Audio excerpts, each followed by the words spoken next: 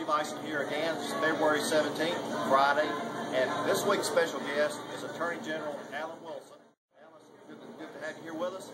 And, uh, you know, this is an eclectic group. We talk about a number of things. We also have Mary Louise Risch with Harvest Hope to make a presentation. So, if you're coming through South Carolina, please drop by the Shoney's here next to the airport. A great place to, to visit and to live here in Cayce and West Columbia, this side of the river. So, Steve Isom, until next week, come by and see us. Alan, thanks for being with us. Thank you for having me. Appreciate it. Thank you. Right, thank you. Lives here with, the, with Cayce group. It lives here in South Carolina. And we have a top law enforcement official with us today. Alan hasn't been back since he got elected. This is his first time to come back as the Attorney General of South Carolina. It's an honor to have him with us. So uh, I would like to introduce Alan Wilson, Attorney General of the state of South Carolina.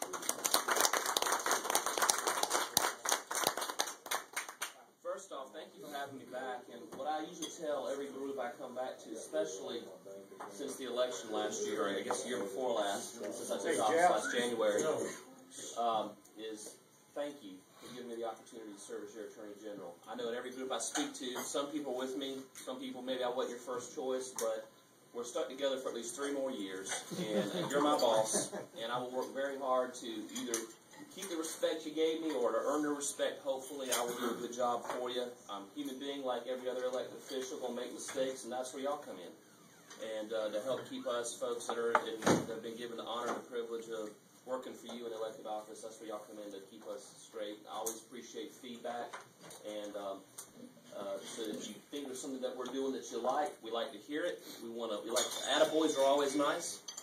Uh, um, also, if we're doing something you don't like, we want to know about it. I can't fix it if I don't know about it. Sometimes uh, you may not know some information I know, and we can we can educate you, or at least give you our our perspective and some point of view that you haven't thought about. And who knows, maybe you'll it'll it'll uh, strengthen your resolve against the position we've taken, or maybe it'll say, hey, maybe uh, the Attorney General's office has got it right this time.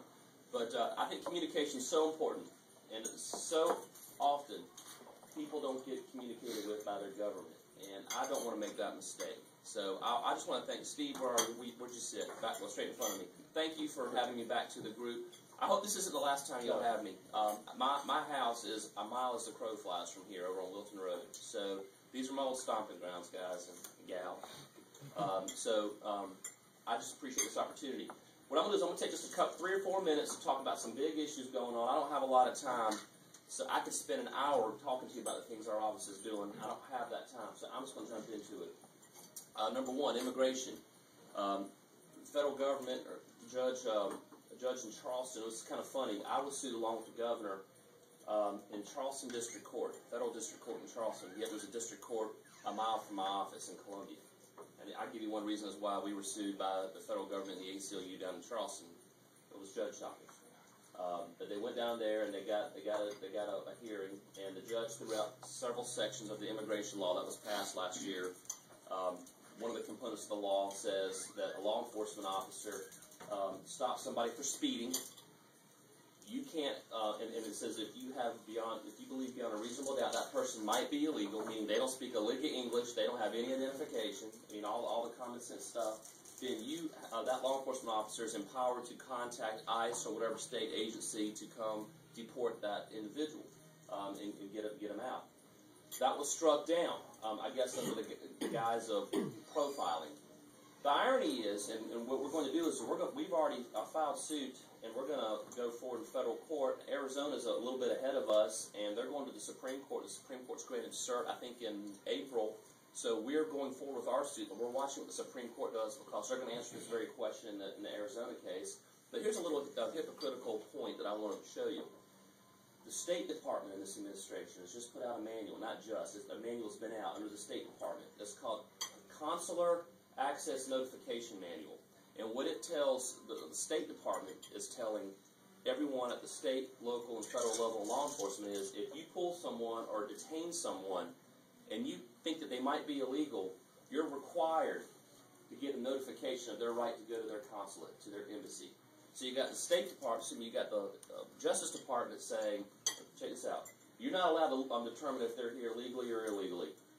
Yet the State Department saying to the law enforcement, to the cop on the street, you have to determine whether they're not here illegally so that you can give them uh, access to their consulate. uh, to go to their embassy. That that's you know, it's it's amazing how the federal government doesn't want you looking at someone's nationality for purposes of deportation, but they want you looking at it for um, purposes of their defense. And I just find that somewhat hypocritical, and that's one of the arguments we're going to bring up when we take this thing to court. Uh, the other thing is voter ID.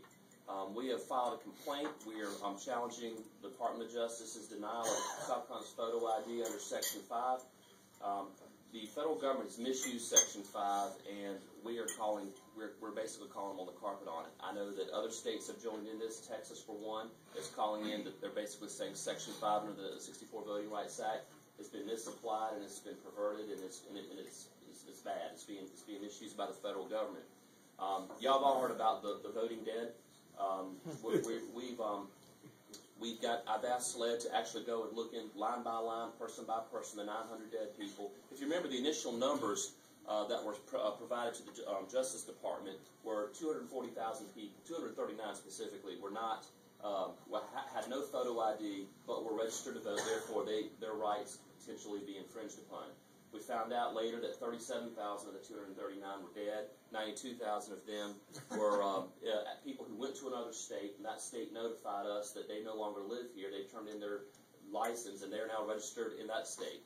Uh, so you had 92,000 of them. Another 20,500 is just, you know, the guy's name was William Smith on this list and Billy Smith on this list. Same social security, birth date, address, just different first names so the computers didn't check it. Uh, there's one lady on there who was 130 years old.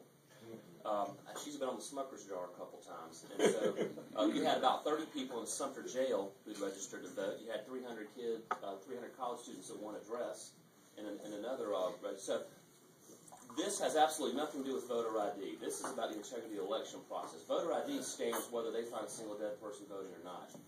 Um, but we have asked them to look at the dead people voting. I have also asked SLED to look at um, the 90 some odd thousand people who've left South Carolina, uh, registered in another state, but are still in the voter rolls here. And I said, I want to know over the last several election cycles, how many of them voted in, in South Carolina, and I want you to go to the state from which they, from which they currently uh, hail from and find out how many elections they voted and see if they're voting in the same two separate states in the same election. I, I would like to know that. And we could, that, that's a very easy thing. It just it's very time consuming. 90,000 is a lot. But that's one of the things we're doing with that. But we plan to um, sue the Justice Department on this. Supreme Court has already upheld this for Indiana. Same similar law in Indiana, photo ID. Um, um, in the Indiana case, it was upheld by the Supreme Court, and the Justice Department approved this for Georgia. So there's Justice uh, Department approval precedent, and there's Supreme Court precedent. Whether you agree with either one of them on this case, they both said the exact opposite in previous cases. So we're gonna we're gonna hold their feet to the fire on that. Uh, let's see. Talk about voter ID, immigration. I'm trying to think what else is going on. We got a lot of lot of big cases going on right now. Next month I'm gonna be in D.C. with the Supreme Court for the healthcare arguments. Obviously, y'all have all heard about the contraception issue. Um, this is my last thought, and I'm gonna sit down because I know you only gave me five minutes, and I've gone over that. Contraception thing makes me sick to my stomach. I think it's disgusting, and I think it's I think it's I don't even have the words for it, but I will say this. At first, they said an individual that they had an unconstitutional um, mandate to require an individual to go get health insurance to buy a product they may or may not want to enter into a contract with an insurance company. That was that was strike one. Strike two was well, we're going to require employers to provide insurance services that they may or may not find unconscionable, that they may that may violate their, their religious beliefs. And then in an effort to accommodate, they said, well, we're not going to require the employer to provide um, the insurance product. We're going to require the employer to provide the insurance, and then we're going to mandate that the insurance company uh, give the product away for free. So what is that? We've gone from requiring people to go into insurance, enter insurance contracts. Then you've gone into requiring businesses to provide services they don't want, and now you're requiring the insurance companies to give away free stuff. I'm not here to defend the insurance companies. A lot of good ones, a lot of bad ones. But if they can force an insurance company to give away free health care or a free product, they can require Shoney's to give away a free breakfast on the street. They, they, can, they, can, they can, I mean, there are hungry people out there. We should all, we all have a Christian duty to go out and help them. But you don't have a right to force businesses to give away free meals. And I can tell you right now, I want to teach the Obama administration one, one principle that any D student in Economics 101 in college has already figured out. There are no free lunches. Let's get around applause. Um, I'm jumping on the conference call after this meeting to meet with several AGs who are we're going to file a complaint on that one too. And um, that those are some three hot button issues. I could go into a lot more. There's a lot of stuff under the surface that I'm dealing with that you don't see. A lot of stuff you will eventually know about, but we, we, we're we're in a lot of different things. But I just want to thank you for having me. I don't want to take up your time, so. Um, I guess people ask questions after she's finished speaking. Well, well, well, let's, let's uh, do some questions now while you're up here. Okay. Real quick, uh, Alden, How many elections do you have to miss before your name is removed from the? I believe it's two presidential election cycles. I read to two presidential election cycles. but they don't actually do that. No, no. Listen, the system.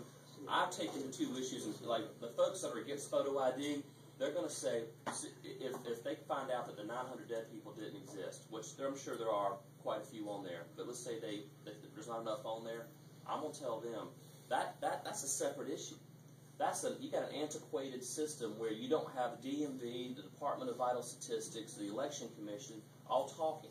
There needs to be some type of standard procedure whereby the, the lists are expunged. And y'all saw the USA Today article. It's like 1.8 million dead people still the voting rolls. We have to we have to up, we have to fix our our system of voting. That has nothing to do with voter ID.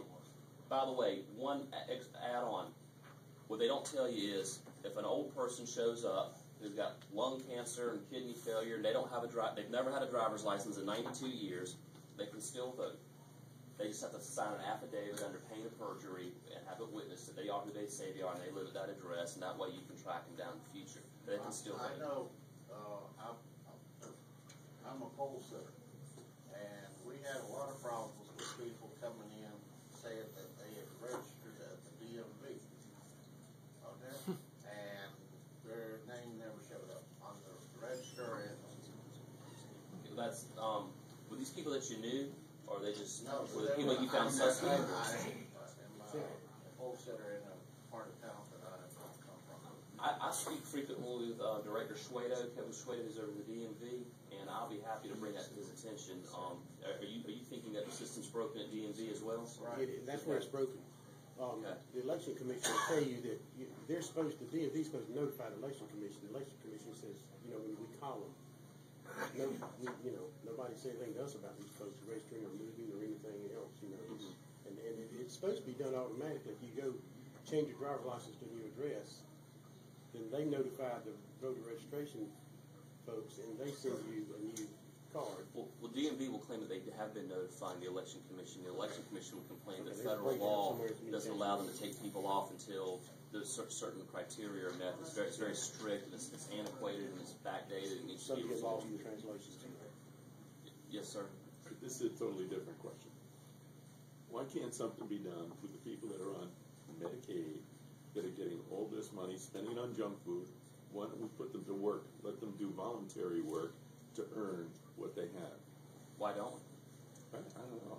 I'm, I mean, good question. I mean, I'm, I'm not. That would be a, mean, that, that that's the legislative branch. I, I fully support it. I, listen, I have a Medicaid fraud unit in my office. I mean, you won't believe the millions of dollars in Medi- Medicaid abuse we, we deal with every year. Um, patient, patient, uh, recipient fraud, doctors abusing, um, patients abusing. I mean, it's it's a hard. The system has got a lot of fraud in it. So, I mean, we're going after them on the law enforcement side, but on the on the legislative side, I would I would stand up next to any member of Congress or House member, member or senator and say amen to that.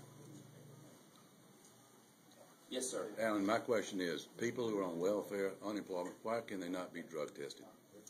Um, when I got my job working for the state, uh, the first time, not when I got elected, I'm talking when I was an assistant attorney general, I showed up to fill out my application. They said, by the way, you have to go over to and you have to pee in a cup and get your fingerprint and all that stuff. I was I was I was applying to be a prosecutor. But if I go over and I apply to, to receive a government entitlement, a benefit, then I don't have to prove that I'm not smoking crack or smoking pot or whatever. It's, it's funny, the scanner, We're, we're making prosecutors and cops submit the drug uh, test to, uh, to enforce the law, but we're not requiring people who are receiving that benefit do the same. I've, I've never understood why that was, and I've actually asked that question of people, and I'd like to see it change. Who, well, I guess you say presents the law, who puts it on the books, how do we get it done? What's the bottom line? We know it needs to be done, how do we do it? Well, you just go to your, your house member, uh, your, your your state house member or senator, and you ask them to do it, or you go to the one that you have the best relationship with, whether they're yours or not, and you say, "Hey, listen, this is an idea."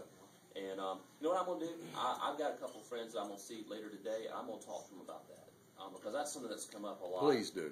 Yeah, It's but- very but- important. But listen, I'm gonna, I'm gonna check on it for you. But but listen, y'all have got as much power as I do, because I mean, when y'all, y'all come together, talking to these members of the House, they listen to you. I've heard about this breakfast a lot. I mean, y'all y'all are well known. Uh, but what I'm saying is, y'all, y'all have had Kenny Bain and Rick Quinn and others come here and talk. I mean, seriously, pu- push that issue. Push that. It's a good issue. I agree with you. Likewise, let me throw one quick question. You know, we talk about how we have to get Justice Department pre-clearance on a lot of our voting issues. What steps can we take to ultimately get out of that? Because my understanding is there's only, what, about 11 states that are required to do this via the Voting Rights Act. How does that hold up to one, a constitutional muster, and, and how could that be ultimately changed, or could it? Well, he, he wants to nullify it. And, uh, Let's hear another tune, man. play Dixie. Dixie. Play Dixie? There